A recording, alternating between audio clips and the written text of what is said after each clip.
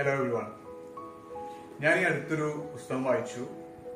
സൂസന്നയുടെ ഗ്രന്ഥപുര. ഇത് അജയ് പി മങ്ങാട്ട് എന്ന് പറയുന്ന എഴുത്തുകാരന്റെ ആദ്യത്തെ നോവലാണ്. ഞാൻ ഈ ബുക്കിനെ കുറിച്ച് പറയാനല്ല. ഇതിൽ ചെറിയൊരു കാര്യം ഉണ്ടായിരുന്നു അത് എനിക്ക് വളരെ ഇൻട്രസ്റ്റിംഗ് ആയിട്ട് തോന്നി. ഇതിൽ കുറെ എഴുത്തുകാരെ കുറിച്ചും മറ്റു പുസ്തകങ്ങളെ കുറിച്ചും പറയുന്നുണ്ട്. അതാണ് ഈ പുസ്തകത്തിന്റെ പ്രത്യേകത. അപ്പൊ ഇതിൽ ഒരു ഭാഗം റൂമി ജലാലുദ്ദീൻ റൂമി. ഇദ്ദേഹത്തെ കുറിച്ച് കേട്ടിട്ടുണ്ടാവും നിങ്ങളൊക്കെ. അതായത് നമ്മൾ പൊതുവെ ഇങ്ങനെ കോഡ്സ് ഒക്കെ നോക്കുമ്പോഴും റൂമിയുടെ കോഡ്സ് ഒക്കെ കാണും. റൂമി എന്ന് പറഞ്ഞിട്ട്. അപ്പൊ ആ കോഡ്സിനൊക്കെ പ്രത്യേക ഒരു മാജിക്കൽ ഫീലിംഗ് കിട്ടാറുണ്ട്. നിങ്ങൾ ശ്രദ്ധിച്ചിട്ടുണ്ടാവും. അപ്പൊ ഈ റൂമിയെ കുറിച്ച് ചെറിയൊരു കാര്യം ഈ ബുക്കിൽ കൂടുതലായിട്ട് പറയുന്നുണ്ട്.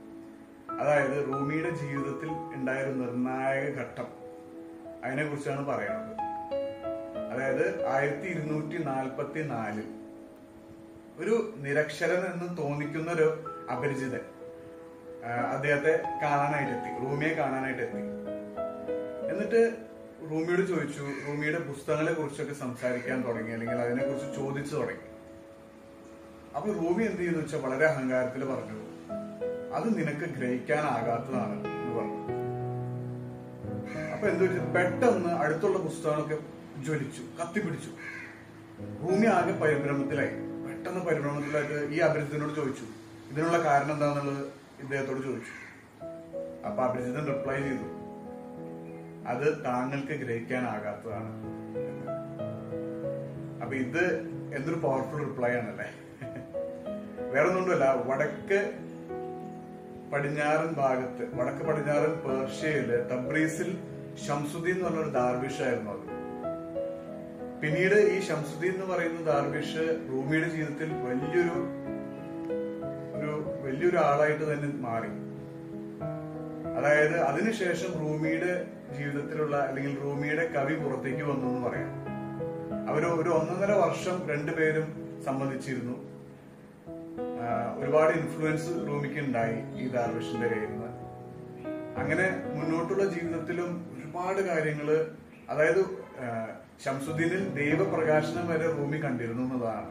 എന്നിട്ട് റൂമി പിന്നീടുള്ള റൂമിയുടെ വർക്ക്സിന് അതായത് റൂമിയുടെ സമാഹാരങ്ങൾക്ക് പകരം ഷംസിന്റെ സമാഹാരങ്ങൾ വരെ പേരിട്ടിരുന്നു.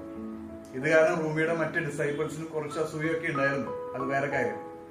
പിന്നെ ഈ ഒരിടയ്ക്ക് പിന്നെ ഷംസു ഷംസുദ്ദീൻ റൂമിയുടെ ജീവിതത്തിൽ പെട്ടെന്ന് കാണാതായി. അതിനുശേഷം ഒരുപാട് വർഷം വിരഹത്തിലും കൂടി ആയിരുന്നു റൂമി.